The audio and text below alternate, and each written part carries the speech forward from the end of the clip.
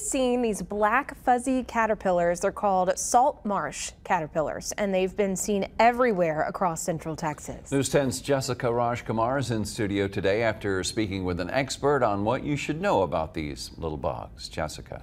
Yes, Lauren and Gordon, these little caterpillars are all over central Texas and they will eventually transform into tiger moths. I spoke with an entomologist who says that even though they are not venomous, they may irritate your skin if you come in contact with one.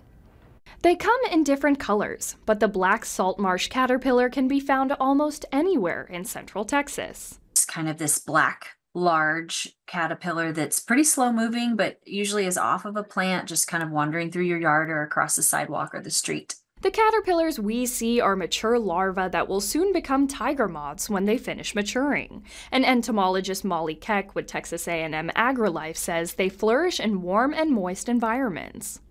It's just availability of lots of juicy green leaves because we've had pretty decent rain throughout most of the state this spring.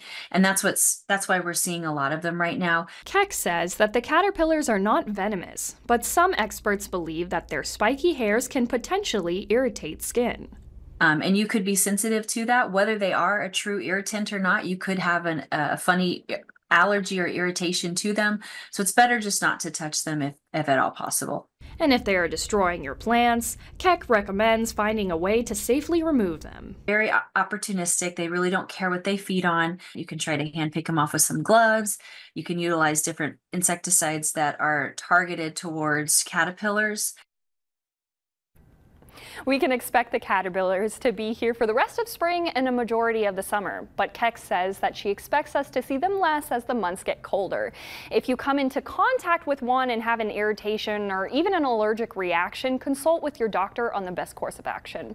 Reporting in studio, Jessica Rajkumar, KWTX News 10.